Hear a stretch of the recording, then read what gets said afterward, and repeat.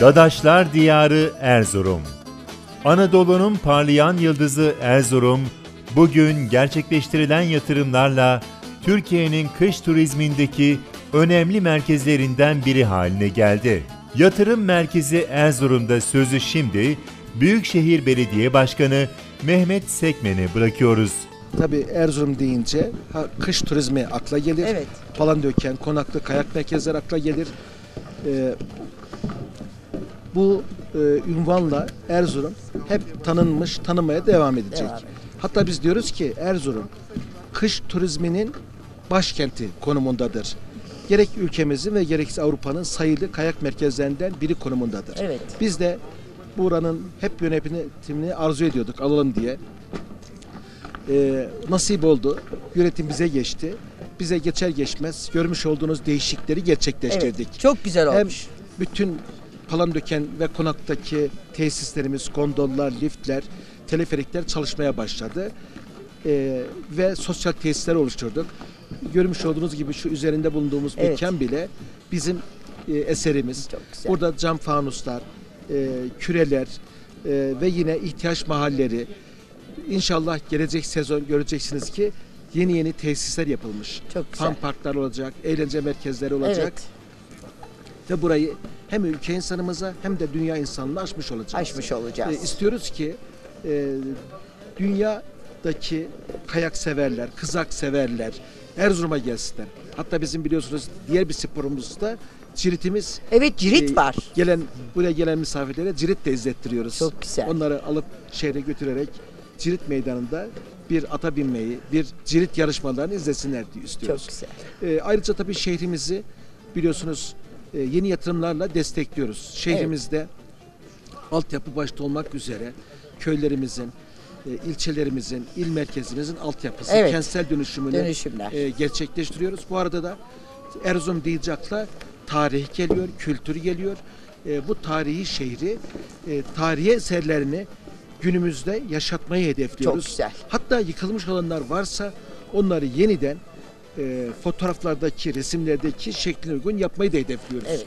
E, restorasyon çalışmalarımız devam ediyor. Evet e, başkanım şimdi Palandöken'de güzel büyük şehir olarak ele aldık diyorsunuz. Evet. Şimdi girişimcilerimiz de olsun mu? Buraya yatırım yapmaya gelsinler mi? Elbet- Teşvikler varsa yararlansınlar mı? Biraz bunlardan Hemen da şunu bahsedelim söyleyeyim. izleyicilerimize. Erzurum'umuz hem turizm alanında hem sanayi alanında hem e, tekstil konfeksiyon alanında, ilaç medikal ürünler alanında birçok alanda Evet. teşvik kapsamını alanda. Çok güzel. E, istiyoruz ki burada yeni modern tesisler olsun.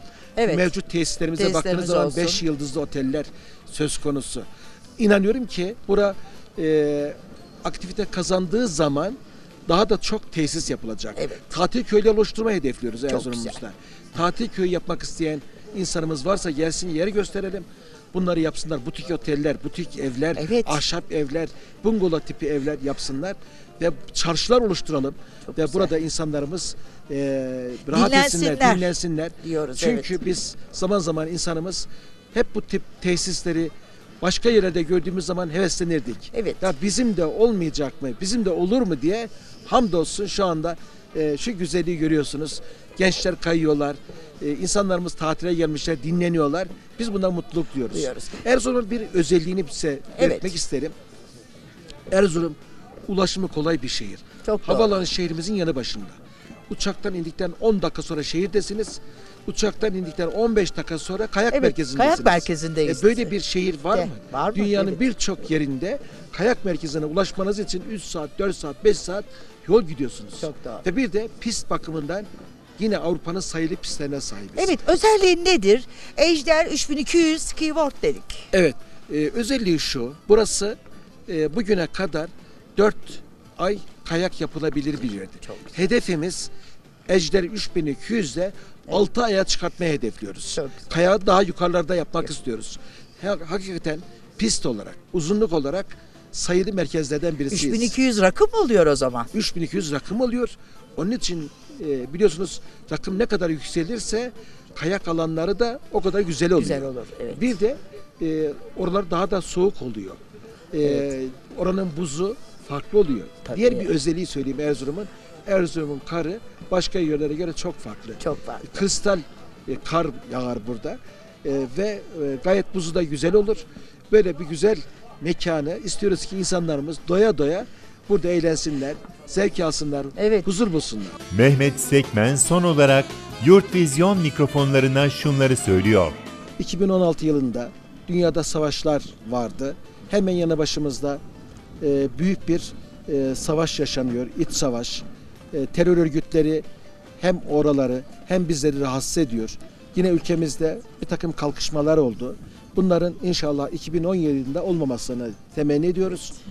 2017 yılının hem ülkemize hem dünyamıza bolluk, bereketlik, esenlik getirmesini diliyoruz. Diyorum ki inşallah 2017 e, çok daha güçlü olacağız, çok daha başarılı olacağız. Ülke insanımız yarınlarına daha emin bakabilecek.